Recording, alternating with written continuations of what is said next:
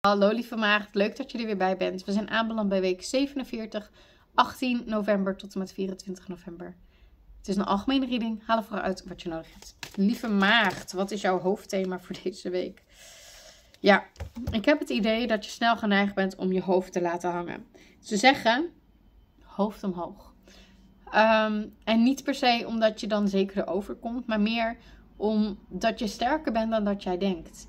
En op het moment dat jij er helemaal doorheen gaat zitten, ga je dat gevoel moeilijker kunnen krijgen dat je het aan kan. Ehm, tegelijkertijd zie ik dat je bezig bent met zaken te helen, dingen achter je te laten. Het lijkt een soort thema wat standaard terugkomt.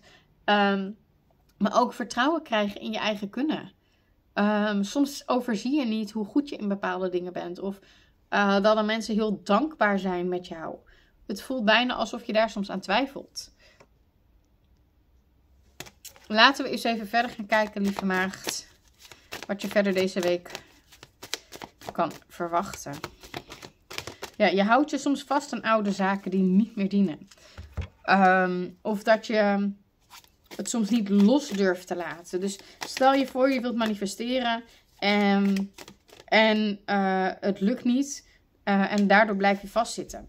Op het moment dat je een brief in de brievenbus doet, moet je hem loslaten, omdat hij anders niet verstuurd kan worden.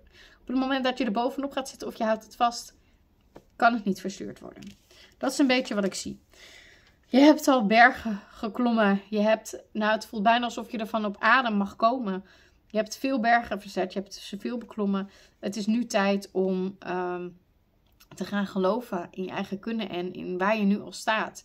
Het geluk lacht ook jou toe. Het is alleen dat die um, dat dat gevecht in jezelf ervoor zorgt dat je het soms even niet meer weet. Dus het kan zo zijn dat je deze week wat meer een strijd in jezelf hebt. Um, maar ga dan ook manifesteren met wat je wel wilt. Om die strijd rustiger te krijgen. Want er komen positieve veranderingen. Je bent je toekomst aan het herschrijven zodat het weer beter met jou matcht.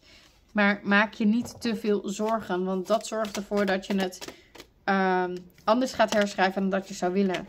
Dus wees vooral als boodschap trots op jezelf. Beloon jezelf. Kijk hoe goed je dingen doet. Um, je werkt heel hard. Misschien voelt het ook alsof je soms te hard werkt. En je hebt misschien wel een wens om het anders aan te willen pakken. Dus neem dan tussendoor ook even tijd en rust voor jezelf. Want ik merk dat dat echt van belang is. Um, dus kijk naar wat je al hebt overwonnen. Kijk even naar je inzichten. Um, en zorg ervoor dat je tijd neemt voor jezelf. Lieve maagd, ik hoop dat je hier wat aan gehad hebt. Ik wens je verder een hele mooie week toe. Bedankt voor het kijken en tot de volgende keer.